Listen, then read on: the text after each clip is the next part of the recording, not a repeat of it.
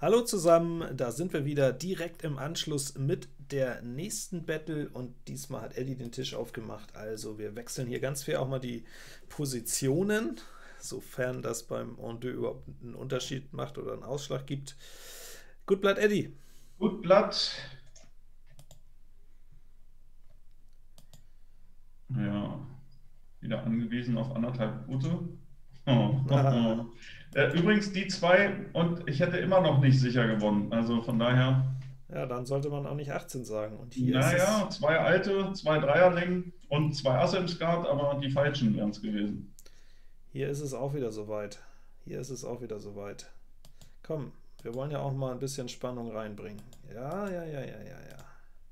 Zweimal offen? Nee, verdeckt. Ah, das ist gut. Das gefällt mir bis jetzt sehr gut. Kreuz und dann geschlossen aber natürlich nur mit einem Trumpfstich. Ja, komm her, es löst sich schnell auf, es löst sich schnell in Wohlgefallen, die Karte steht so gut, wie sie für mich stehen kann. Pik Bauer jetzt blank und Karo Ass blank. Ähm, das kann nicht schlecht sein, ja. Das bedeutet wiederum, ich mache keinen Trumpfstich mehr durch Pik Bauern blank und mache noch zwei Karo-Stiche, die, äh, ähm, die ins Nirgendwo führen. Die zu irgendwie 49 Augen führen einmal ganz schnell durchgespielt für. Aber das war auch klar. Die, die, Findung ja. war nicht dolle, ähm, aber ich habe den Sechstrumpf-Ansatz mit dem Seitenass und der blanken Karo 10. Ähm, jetzt braucht man nur eine Karte irgendwie tauschen und dann ist das Ding schon locker aufgeflogen. Also Glück gehabt. Ach ja. So. Hier gibt es verschiedene Varianten.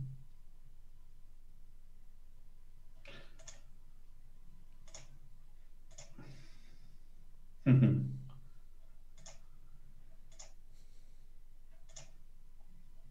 Ja.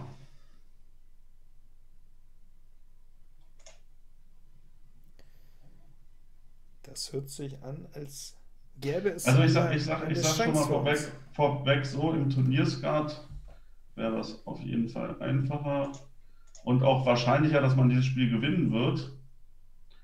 Hier ist alles möglich bei der Oma.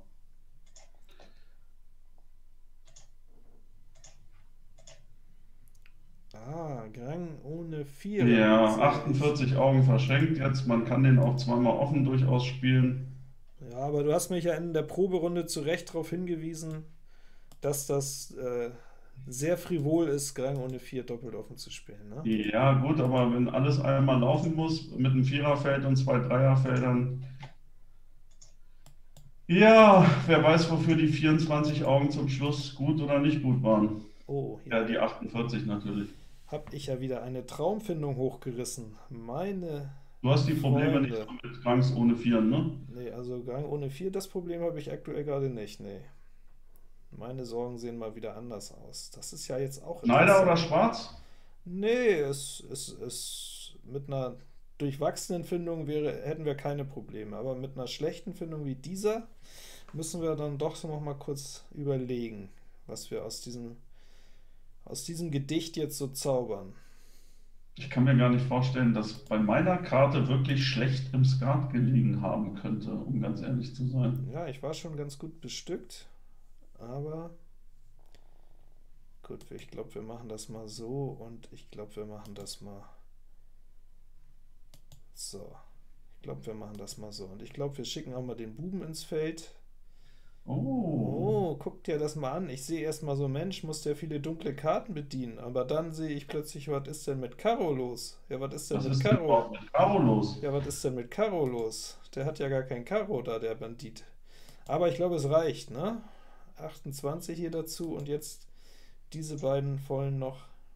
Ich glaube, es sind auch keine Tricks möglich. Wenn ich jetzt irgendwie trickse, kriege ich dann Karo Ass. Ja, ich frage mich gerade, was passiert, wenn ich jetzt Karo Ass spiele, dann kann ich in Kreuz mir noch den König angeln, ne? Ich, ich, könnte, ich könnte dir die Antwort geben. Ja, ich kann, äh, Karo Ass kommt jetzt ein bisschen zu früh, nach Abstich, Übergabe, Pik 9, Pik, äh, Herz 9, Herz König. Also wenn, dann müsste ich jetzt direkt Herz Lusche spielen. Ich glaube, Herz Lusche ist der korrekte Zug für Maximum, ne? Ähm, wir versuchen das jetzt mal. Herz Lusche ist der Zug für Maximum. was hat, was drückt man? Achso, man kann Herz Dame zu dritt behalten sogar, ne? Ja. Ja, macht er nicht. Es geht jetzt nicht hier darum, um eine spezielle Drückung. Ich habe die beiden Damen übrigens gefunden und wieder gedrückt. Gefunden ja. und gedrückt. Nur auf diesem Wege. Ja, das, das ist wirklich interessant, dieses Spiel. Im Turniersgrad hätte man wahrscheinlich jetzt nach Kreuz Ass sein Karo Ass gespielt und wenn jetzt wirklich dann die Gegenpartei auf diese vier Augen Übergabe gekommen wäre, hätte man keinen Stich mehr bekommen. Ähm, ja, gut, wir spielen es jetzt mal gelangweilt trotzdem runter. Äh, der Daniel kriegt noch Kreuz König. So zwei Damen gedrückt, ja, ja, das ist ja, war ja von Haus aus schon. Und schon wieder hat er jetzt gerade in der Hand. Ja, ja, ja, ja, ja. Er hat ihn in der Hand. Er drückt ihn auf diesem Wege und der der muss wieder reichen, der ist wieder stark nach Buben im Stock. Oh, das ist wirklich grenzwertig langweilig. Die guten Zeiten kommen noch. Alles steht auch wieder ordentlich. Da können wir ja einmal. Ich darf bei diesen Kranks ohne Vieren, ich muss, ich muss diese 48 Punkte mitnehmen. Die, äh, zum Schluss fehlen die mit Sicherheit gegen Daniel. Oh, jetzt lässt du dir tatsächlich noch Karo 10 abstechen. Ja, naja, gut. Sonst äh, gibt es ja, eine Schmierung sonst... auf den Vollen. Ich glaube, das machte keinen Unterschied. Ich dachte, vielleicht erwische ich dich mal im gelangweilten Tiefschlaf, aber das mhm. kann ich natürlich beim Skat, glaube ich, vergessen. Ne? Ein sehr schöner Ansatz, ein durchschnittlicher Skat. Ja, Daniel, der, naja, komm. Sehr fragwürdig, ob der nur einmal offen ist. Äh, okay. Man weiß es immer nicht. So. Wollen wir mal die Frage in den Raum stellen. Was machst du? Wie hältst du es mit den Karos? Ja. Ja, das ist Kreuz 2-2, dann war dieser Aufschlag auch egal. Aber das wäre natürlich der, mit der schlimmste Aufschlag, der hier kommen konnte, Karo Dame. Lusche Dame wäre noch ein bisschen schwieriger gewesen. So. Tja, Einfach da gewonnen. Lusche Dame hättest du, glaube ich, auch mitgenommen, ne? Aber also erst recht. Ja, ja, ja, ja, hätte ich auch mitgenommen. So, der Eddie Vier Luschen abzugeben, einen vollen brauchen wir, wenn wir drei haben. Das hat Daniel ja schon mal berichtet. Weg, weg. So. Ich weiß, ich weiß es wirklich nicht, was man mit dieser Karte macht. Oh Mann, Mann, Mann, Mann, Mann.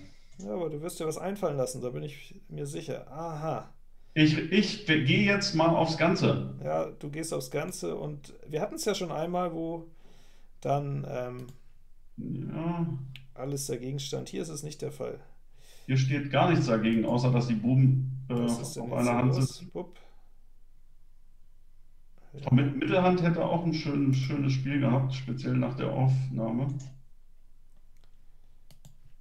So, was kriegen wir denn? Herz 10, ja, aber zu wenig, weil der Bauernmann auch noch die die beiden Asse hat und obwohl ich jetzt hier den Abwurf noch hinbekomme, ähm, damit habe ich mich noch verschlechtert, ich wollte es nur mal demonstrieren, jetzt zwei volle hier bei mir, dann wären wir rausgekommen, ist aber nicht der Fall, also biete ich jetzt mal das Spiel, was kriegen wir denn?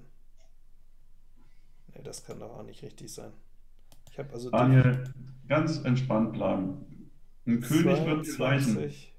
Ja. Obwohl, ich habe viele Könige gedrückt übrigens. Ich ja, weiß gar nicht. Ich habe ich, hab meinen einen gerade weggeworfen aus Spaß, aber ich kriege natürlich, ich sehe es ja gerade, ich kriege natürlich noch Karo Dame mit meiner letzten Dame reicht ja auch noch für 31, ne? So. Was? Nein, du hast Nein. 22 erst. Ja, dann habe ich es ja, also ich das war ja wieder Könige, schön. Die Könige waren gedrückt, meine Könige. Ja, Guck mal hier, dann habe ich, damit das aus ästhetischen Gesichtspunkten, damit du hier nicht unter 120 vom Tisch gehst, habe ich da nur mal aus Spaß, weil ich war schon, ich dachte, ich werde sowieso schneiden, habe ich den jetzt König mal abgetragen.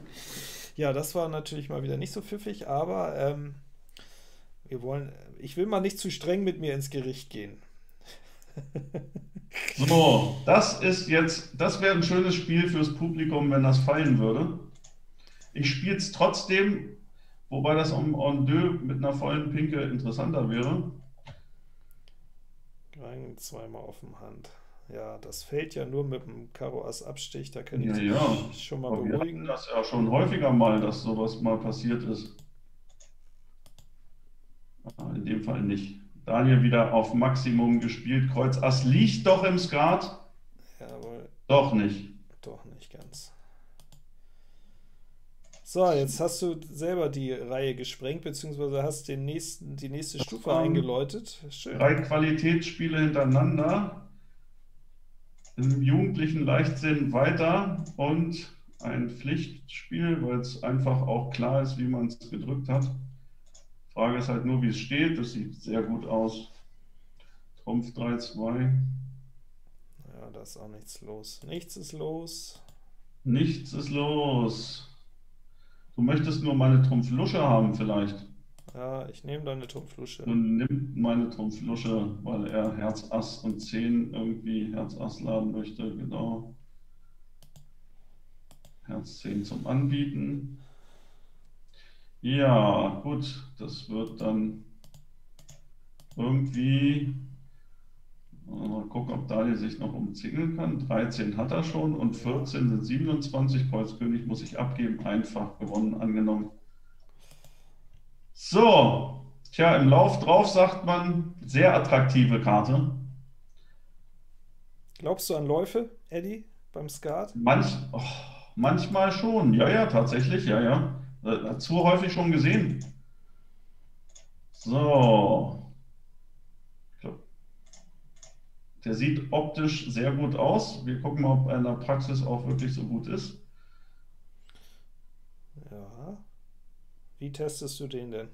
ich würde Pigas Blank tatsächlich ausspielen mit, äh, mal gucken, mit was für. Ah, ja, ja, ja. Keine schlechte Idee, wenn ich das. Keine schlechte Idee, weil wenn die Bauern dann springen, hat man Schneider gewonnen.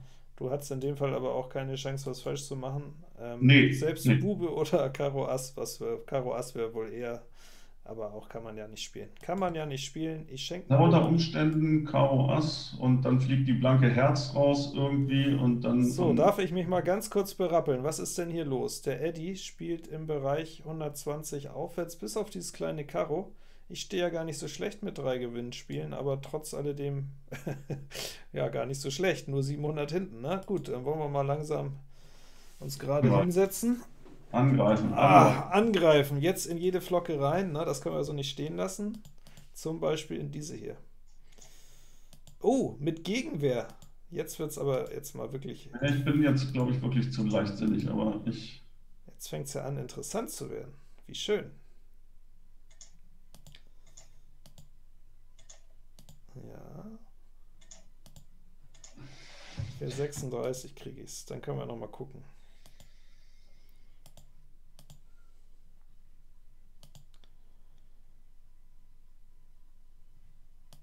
Wir werden mal einmal offen spielen, uns noch ein bisschen bedeckt halten. Man hat ja auch schon Pferde kotzen sehen. So. Ja, aber, aber, nicht, aber nicht dieses Pferd. Dieses Pferd nicht, dieses Pferd kotzt nicht. So, 21 Karo, ein Trumpfstich mit Trumpf Ass und noch einen Pikstich. Wir können das abkürzen. Spiel einfach gewonnen.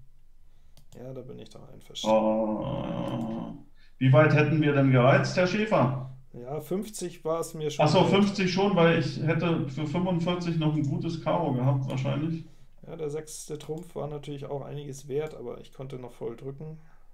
Und du lässt nicht locker und legst direkt hinterher. Ja, und jetzt, äh, jetzt wird sich zeigen, wie viel ist mir,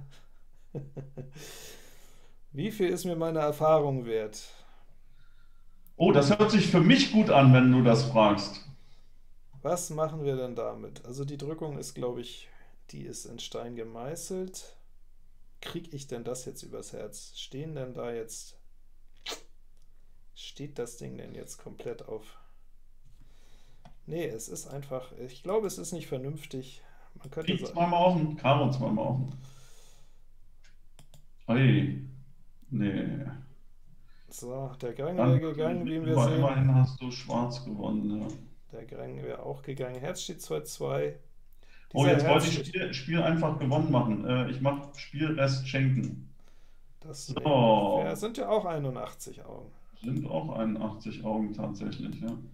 Na, wenn du nach vorhin den 48 nachtrauerst, dann habe ich hier auch noch welche, die ich im Zweifel am Ende ins Gefecht führen kann. Aber das Risiko war mir zu groß.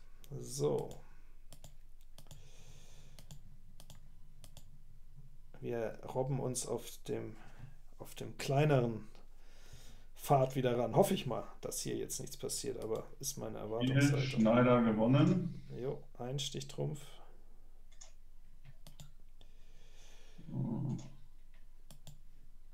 Und schon ist er wieder da, der Daniel.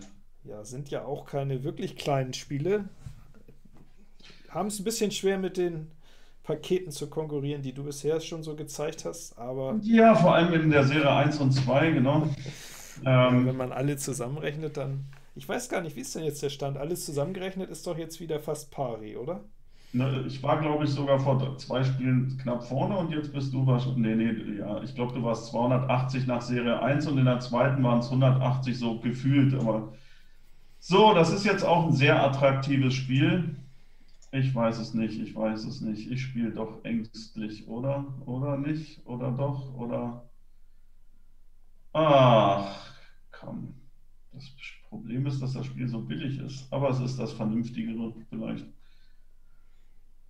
Aber auch das Spiel ist verlierbar. Ja. Daniel ist so ruhig, das macht mir schon ein bisschen Sorge. Ja, ich denke nur drüber nach, ob wir hier, wie wir hier am besten aus dem Schneider kommen. Ob wir aus dem oh, Schneider kommen. So viele Wege gibt es, ja? Nö, eigentlich nicht. Das sieht aber nicht zwingend aus nach dem Weg. Eigentlich nicht. Aber da sieht man jetzt, Grang zweimal offen wäre auch gegangen, Grang einmal offen. Naja, so sind es halt nur 55 Augen, die dieses Spiel bringt. Mit Schneider gewonnen, jawohl. Ich glaube, wir ticken ähnlich. Das ist ja zumindest an diesen beiden Spielen zu sehen. Ich kenne andere Spieler, die bei beiden Spielen ganz, ganz locker diese Grangs jeweils gespielt hätten und die sich wahrscheinlich auch wundern, warum wir das nicht tun. Ja, das gebrannte Kind scheut ein bisschen das Feuer, ne? Oh, das wäre jetzt, den habe ich jetzt liegen lassen. Der hätte mir Ich hätte, glaube ich, auch ein Spiel gehabt mit dem Skat übrigens, aber du wahrscheinlich das Bessere. Ich glaube, das wäre Grang zweifach gewesen in oh. Vorhand. Oh. So eine Dinger lässt du aus, ja? Ja, manchmal schon. Oh, Nullover ausgelassen. Herz 7, Karo 8 wäre Nullover gewesen. Na, Daniel, du musst doch mal angreifen, genau. Ja, Warum greife ich denn immer im falschen Moment an, Mensch? Das weißt du doch noch gar nicht. Mach mal was ganz, was ganz Verrücktes. Ein geschlossenes Karo. Da kommst du ja nie drauf. Ja, da komme ich wirklich nicht drauf. Oh. Einmal gegen die Theorie und schon, schon Ach so, oh, das war ja gar nicht so clever, was ich jetzt gemacht habe. Ich